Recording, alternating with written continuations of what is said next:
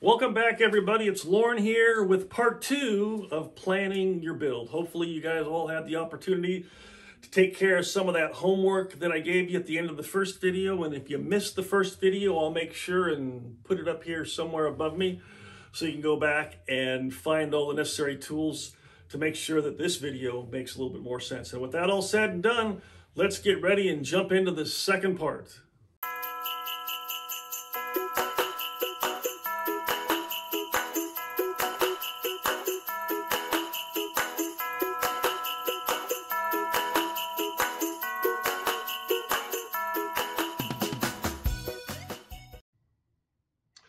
Some things we're going to cover in part two, uh, a little bit about safety, putting your show on paper, which will then give you a lot of information to help you determine what things you need to order to do your show. Setting up your props in xLights, which will give you a virtual representation of what your show might look like, and then time management. But starting out, really, safety um, is pretty important there are things that can go wrong when you put your display up and you want to be as safe as you possibly can. I know in our household, we as a family made the conscious decision to not put anything on the upper eaves because we didn't feel it was safe to do so from a ladder. And we wanted to make sure that it was safe. I want to make sure that I'm around to put them up uh, every year for years to come. So we decided just to stay on the lower part of the house, which I know for a lot of people out there, they're going to say, oh my God, look at all that real estate that's untouched. And it was just a decision. There's nothing wrong with putting stuff on your upper eaves, but if you do it, please do so safely. Please use the proper safety equipment, proper ladders, proper supports. Some people even will go as far as renting a lift, which I think is a, an outstanding idea to do when you start going up to those heights, the second story. Some people even a third story in a house especially because you're not just going to be putting stuff on the eaves, but possibly all over the sides of your house at that height. So, and these props can be heavy. And with a lift, you're able to do that safely.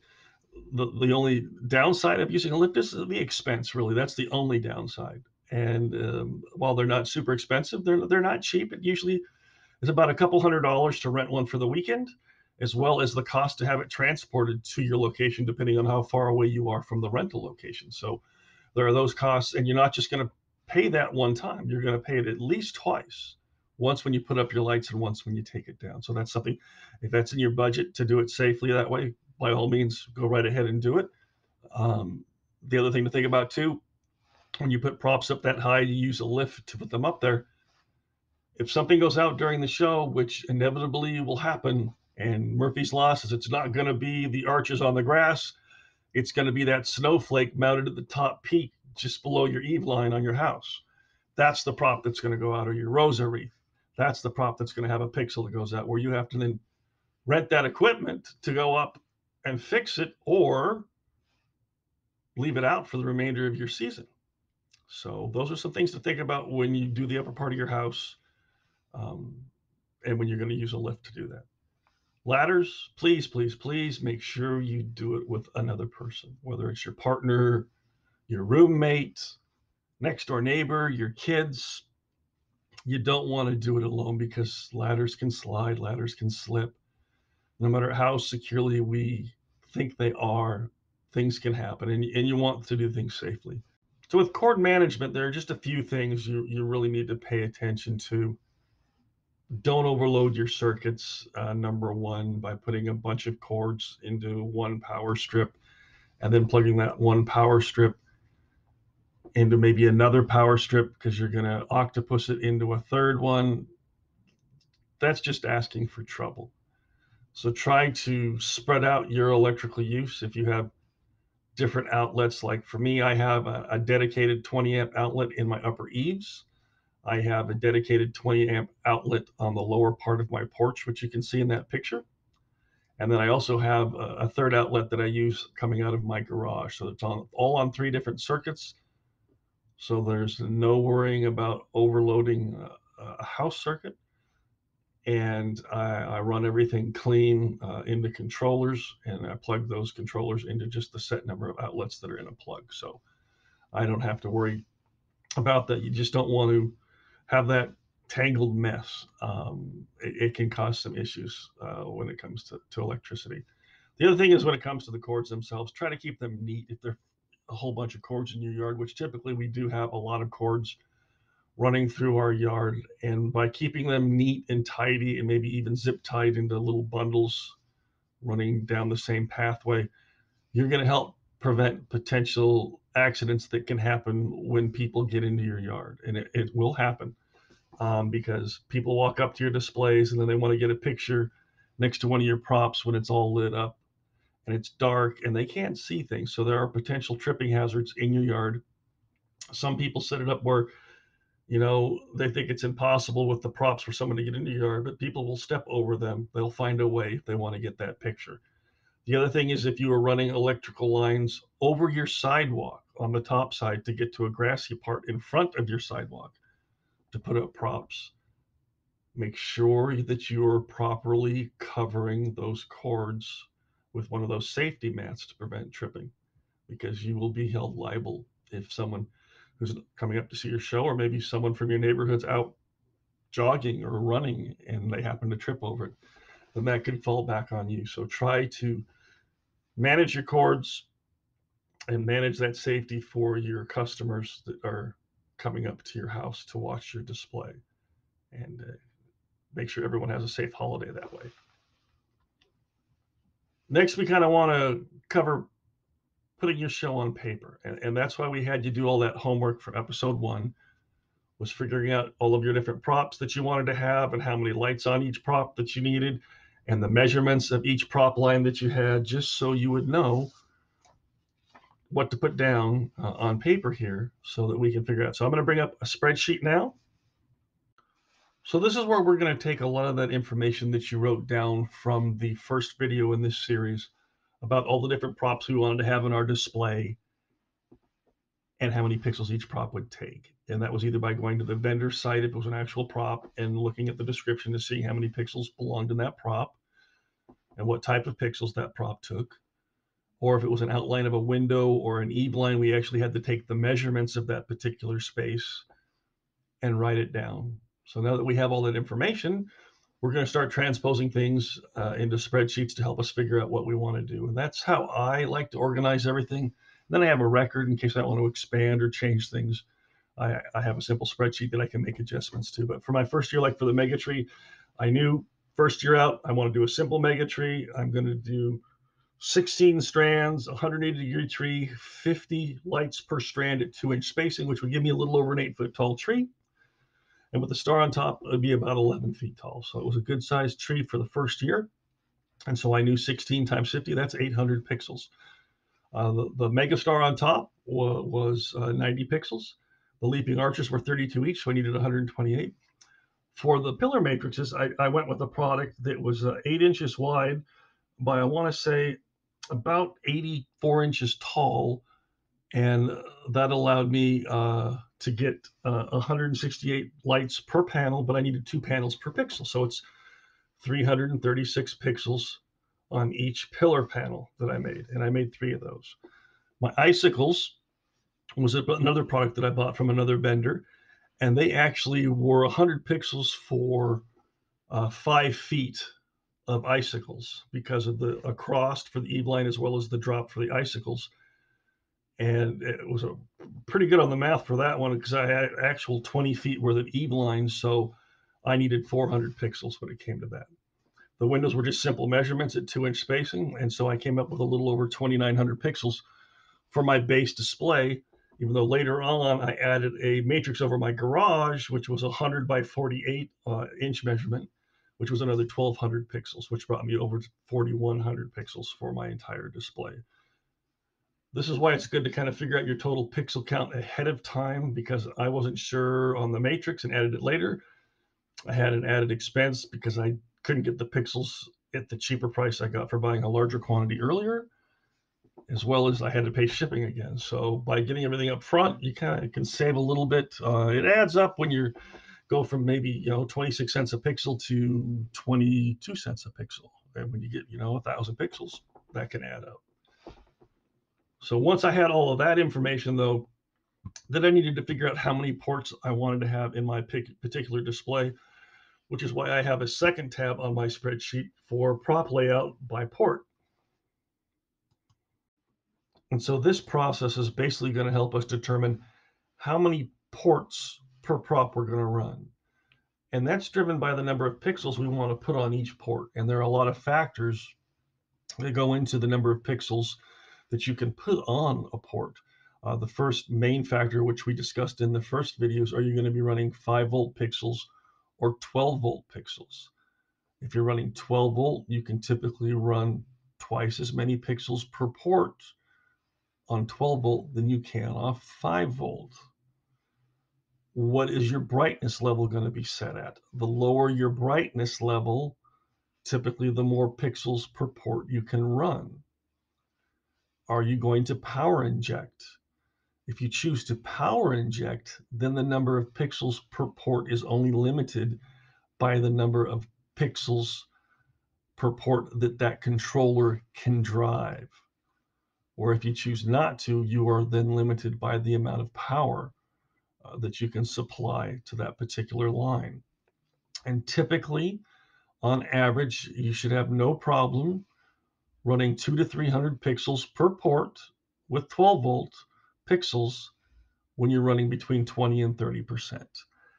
And I'm going to put a link to a video at the end of this video that Steve Nye from uh, Nye Family Lights put together on how many pixels you can run per port when you need to use an F-Amp to help boost the data and what factors may come into play, like how long is the cord between the controller and the first string of lights.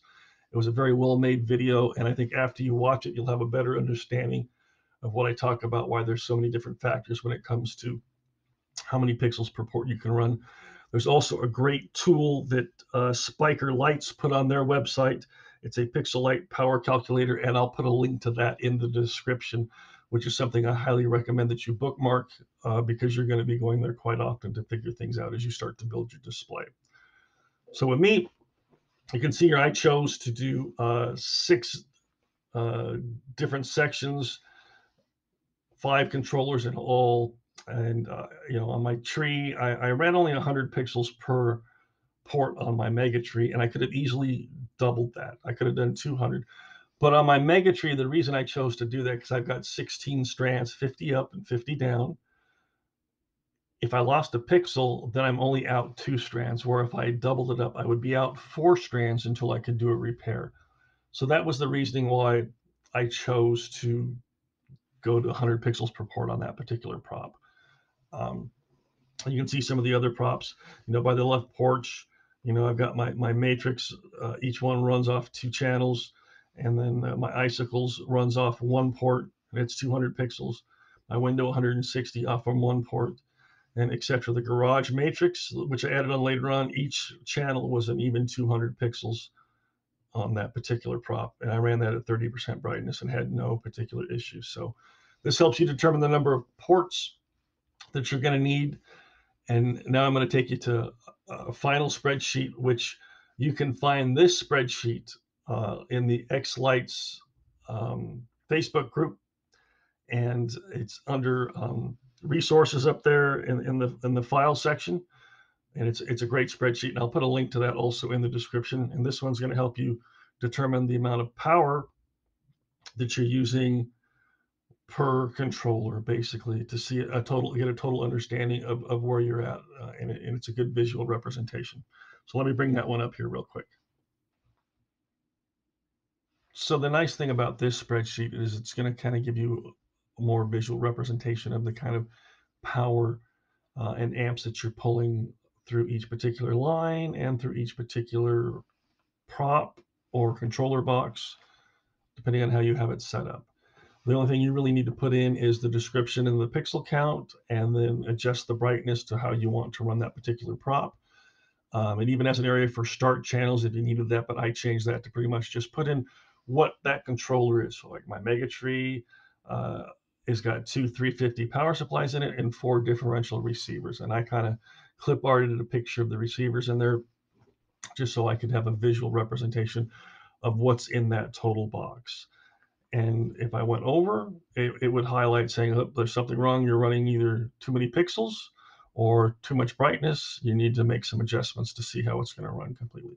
So it just gives you kind of a, a nice overall visual representation that you can put in your toolbox for when you're building props or thinking about expansion or building your first display to kind of give you the whole total layout. This is what I'm going to be pulling and this is what I'm going to need. And as you can see, none of my boxes have an issue coming even close to the 350 watts of power or going over the 20 amps um, that can be handled by that particular receiver box. So I'm all within uh, easy use uh, with the amount of pixels I'm running, anywhere from you know 100 to 200 pixels per port.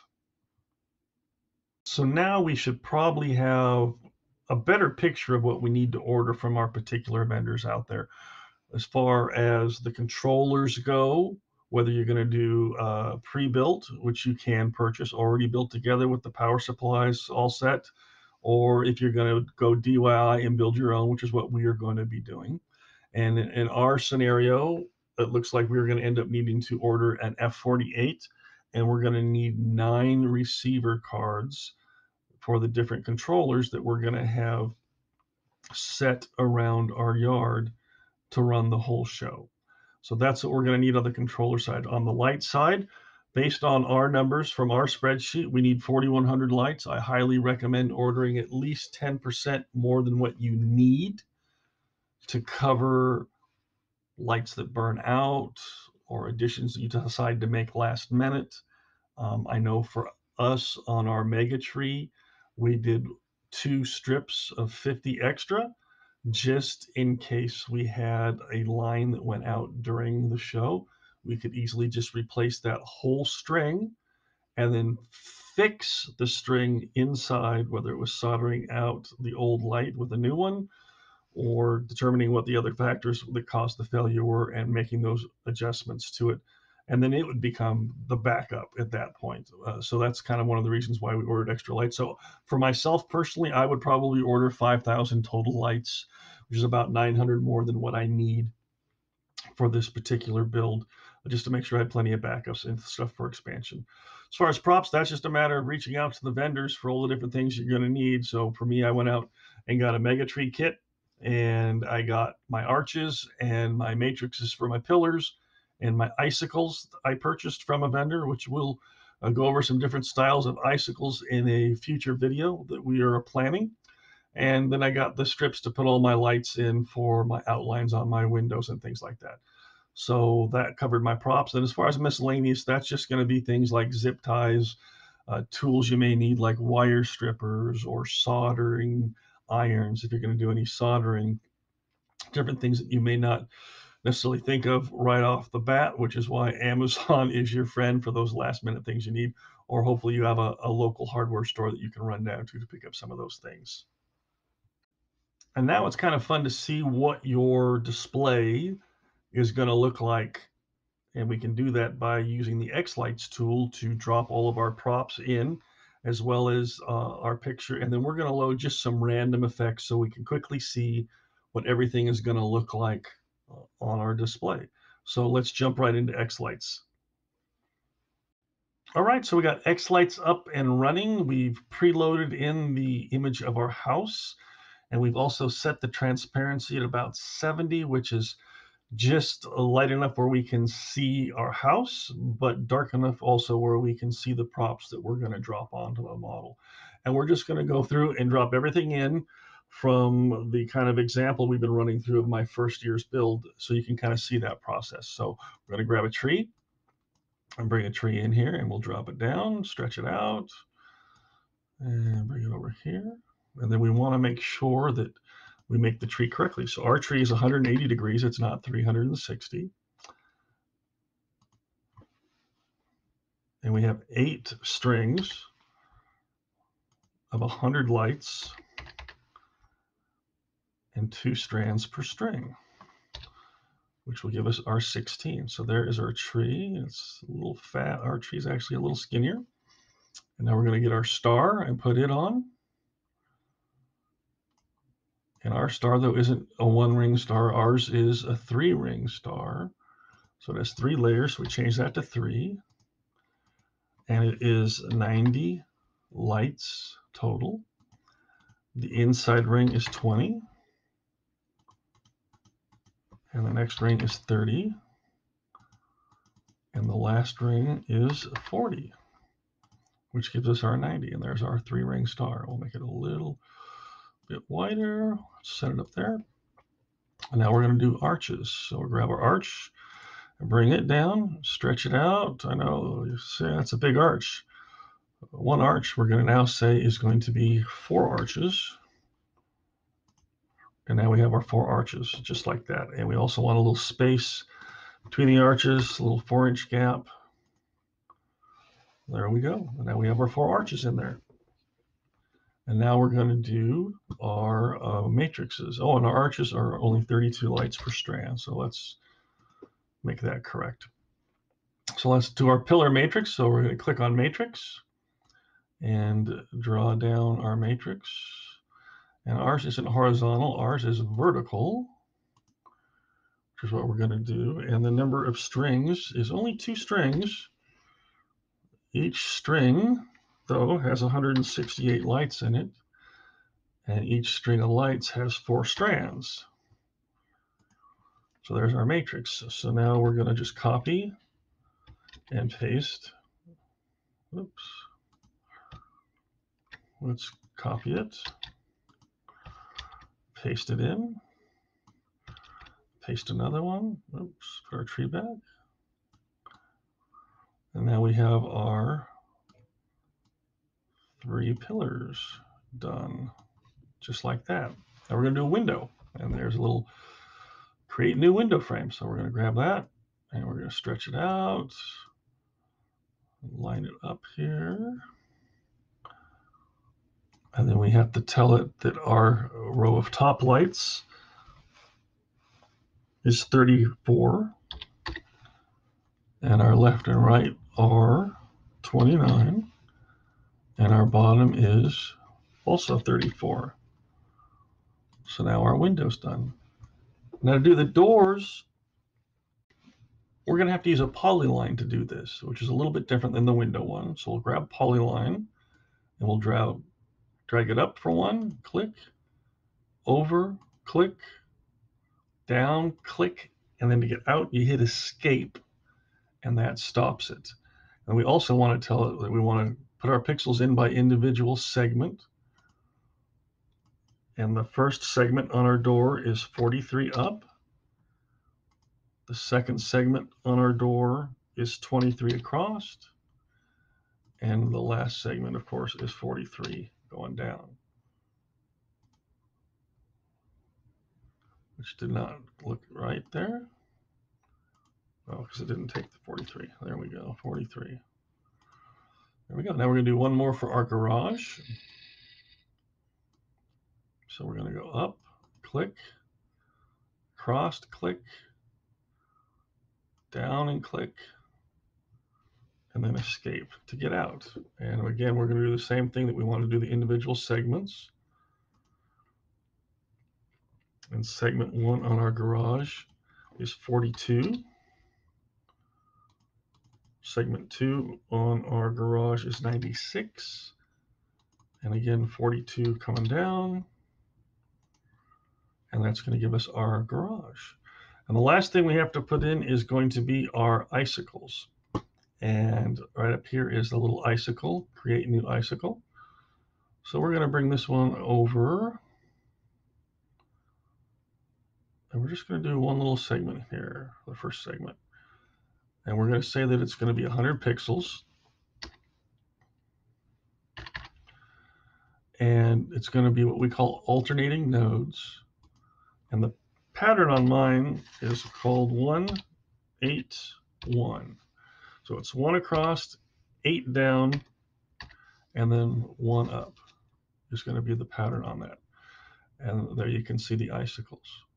So now I'm going to take that and I am going to copy it and then I'm going to paste, not the circle. Let's, let's get our icicles and copy and then paste. And then we can take and bring this one decline there. I'll paste again. And we're going to bring this one over here, but we're going to tilt it a little bit. I'll bring that up here and then tilt these down. I'm going to do one more.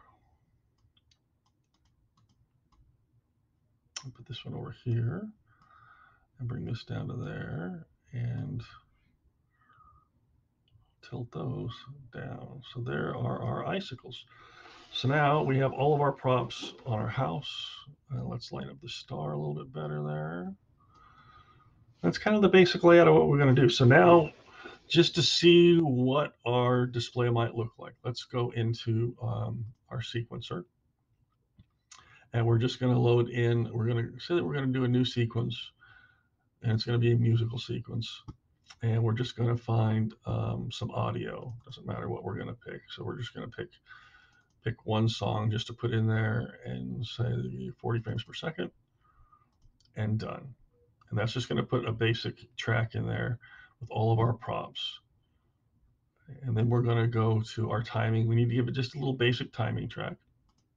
So we're going to add timing. And let's just do uh, a beat one.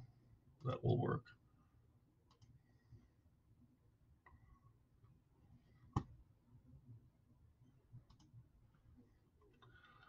And now we can go in and just kind of highlight some of these cells and we're going to right click and we're going to say create a random effect. And this will give you a chance to see different effects on different props and it's going to put them on everything. So while we're waiting for this, it may take a little bit of time. Then we'll be able to see kind of what different things look like on all of the props that we have in our display. And that kind of makes it fun because then you can actually go back and click on individual props and see individual effects and know what they do and what they don't do. Uh, a good way to get familiar with some of the basics of all of these different effects that you have lined up here across the top. And they all look different on different props. Some are horrible on certain props depending on what the effect is made for. Um, and that's something that you kind of learn as you go. So we're almost done here and then we'll be able to kind of give it a little play and see what it looks like.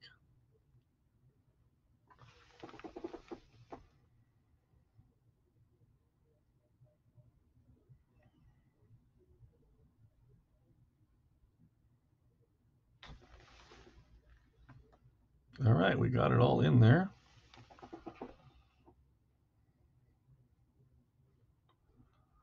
So let's take our uh, transparency now and take it down to 90%. So now it's pretty dark.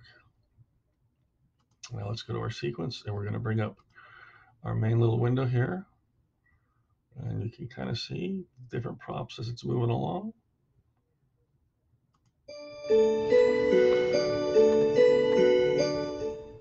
And it just kind of gives you a good visual representation of the different things done by different props. So that kind of is the basics of what your show is going to look like until you get a sequence and start doing your sequencing.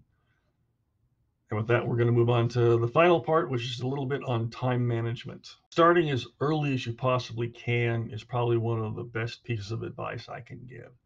This hobby will consume a lot of your free time.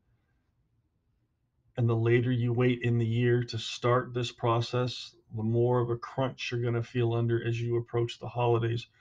Not to say that it can't be done. Uh, we have seen people do a 10,000 light display in a, in a matter of weeks. But the later you start in the year, also you have supply issues when it comes from the vendors. They tend to run out of things the closer you get to the holidays. So the earlier you plan, the better it is. The cheaper prices you can get on stuff from some of the vendors because they'll have pre sales and, and pre-buys. So those are things to look for by starting early. Try to stick with your plan. If this was, you know, your original setup was, you know, for 3,500 pixels, I know you're going to see stuff as you're building. Oh, I want to add this, I want to add this, and I want to add that.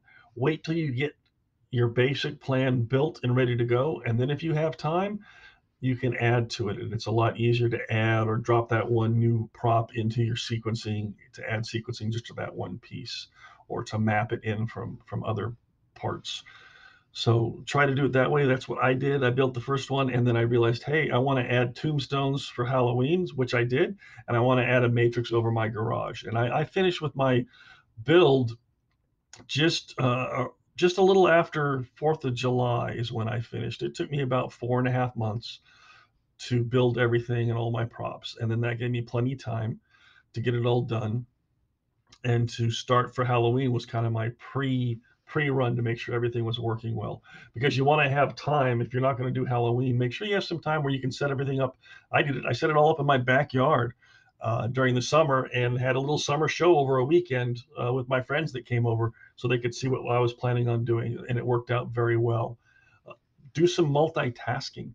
Uh, and I don't mean by doing a whole bunch of crazy stuff, but if you're watching TV at night, that's a great time to maybe be pushing some pixels in to get get your wife involved or get your kids involved. Pushing pixels while you're watching TV is no big deal, and pushing pixels is going to take up a lot of your time believe me when it comes to putting this together. Very monotonous work, but if you're watching a good show or a good movie, it goes by a little bit quicker. And try to take a few breaks. Um, don't don't show up every weekend and every single moment on every weekend to do this. Try to do it in chunks, a couple hours here and a couple hours there. Uh, it'll be much more enjoyable for you, and and your family might enjoy you being around a little bit more also because this this is kind of a, a family hobby. So keep that in mind. Well, everybody, that's going to wrap up this two-part series on planning the build. Hopefully you got a lot of good information out of this to help you in your planning stages as you move forward to showcase your new display in the coming months. We got a lot of great things coming up here in the future. We're going to be doing a build series on controller boxes for the DIYers out there. We're going to build an F48 an F-16 with an expansion card, as well as some uh, receiver boxes for our yard. And then we're also going to do some product uh, showcasing as well as some comparisons. And the first one in that series, I believe, is going to be on icicles, where we show you all the way from DIY to props that you buy from different companies that are out there so you can see a whole spectrum of the different options for icicles. With that, if you did like us, we'd appreciate if you gave us a thumbs up, maybe even shared us on, on your social media or click this subscribe button over here.